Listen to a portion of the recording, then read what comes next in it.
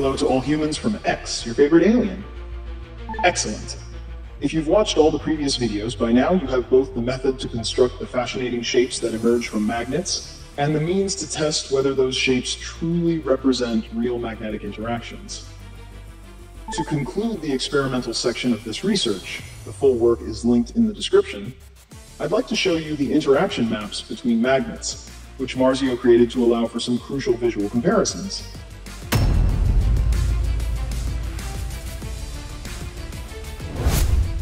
At this stage, our representations reveal two things. In magnets set in repulsion, the sensor detects a neutral point exactly at the center. But interestingly, it extends parallel to the magnet axis, not perpendicular, as you usually see in textbooks. Meanwhile, in magnets set in attraction, a neutral point seems to emerge at the very center of the four interacting poles. But beware, as explained in earlier videos, magnetic field detections with this method are highly dependent on the angle of measurement, which means we could generate countless comparisons, far richer than the simplified diagrams found in books. For instance, the earlier measurement was taken perpendicular to the magnet axis. Now let's analyze the magnets under the exact same conditions, but with the sensor aligned parallel to the axis. And here's what we find. All the neutral points vanish, both in attraction and repulsion, and instead, well-defined internal polarities appear. And this is the crucial part. If we change the measurement angle for every scan, we can easily produce hundreds of different maps. In other words, this method allows us to unpack the magnetic field according to the measurement angle, giving us the ability to predict magnetic interactions with remarkable precision, whether with a single magnet or a complex system. Having a tool like this, well, that could prove extremely useful, don't you think?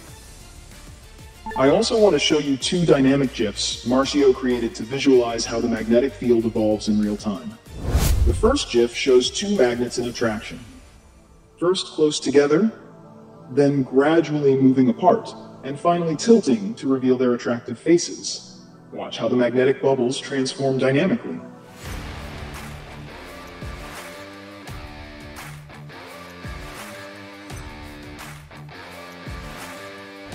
The second GIF shows the same magnets, but this time arranged in repulsion.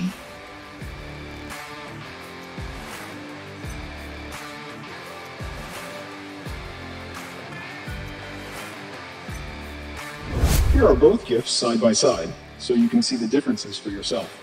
Isn't it magnificent? If only we could see these interactions live with our own eyes, it would be breathtaking. And remember, all images and GIFs are available in the research materials on Zenodo.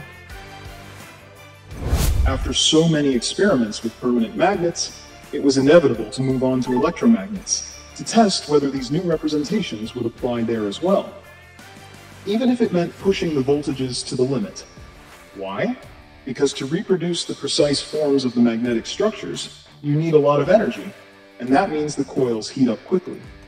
So here's my advice if you attempt such measurements, make sure to cut the current from time to time, allowing the coils to cool down. Otherwise, well, this might happen.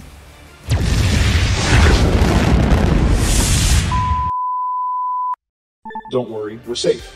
And yes, the shapes do match. But there are additional factors to keep in mind. The amount of current used, the shape of the coil, whether or not there is an iron core, and so on. When it comes to the magnetic field patterns that emerge, they are fully consistent with the measurements from permanent magnets. For example, a parallel measurement or a perpendicular measurement both produce similar structures. But because a coil has a central hole, a core, you might expect it to behave like a ring magnet, which shows an inverted central polarity.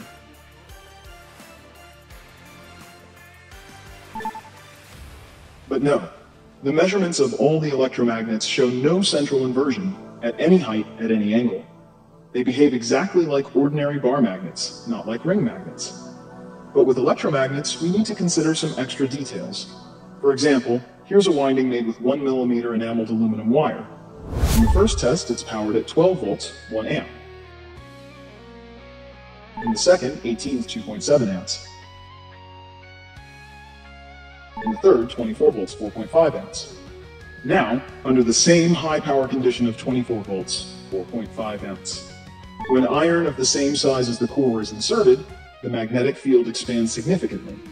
And when the amount of iron in the core is tripled, the measurement looks exactly like that of a permanent magnet, with a dramatic expansion of the lateral polarities.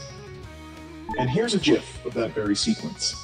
In short, by generalizing, we can represent the magnetic field of a single current loop in this way, and that of a solenoid in this way.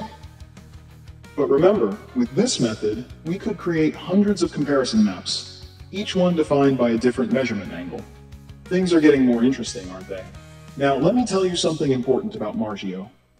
He isn't famous. He isn't backed by any institution. No one paid him to spend three years completing this research. And yet, he could have made a fortune by selling it to a private company. But he didn't. Instead, the moment the research was finished, he made it public, fully open access through Zenodo. And now he's dedicating time to create these videos so that anyone can see how it's done. That's who we're talking about and that's why I'm helping him. Gladly. Because if this isn't the true spirit of science, then what is? So if you want to support this completely independent self-funded work, subscribe to the channel, leave a like, and share it, because that's the only way to spread this knowledge to as many people as possible. Thank you. Up until now, we've focused on experiments, on explanations of how to obtain these shapes, and on testing them. From here on, we'll begin exploring the deeper reasoning behind all of this the why. And trust me, things are about to get very exciting. See you in the next video. Farewell humans from X, your favorite alien.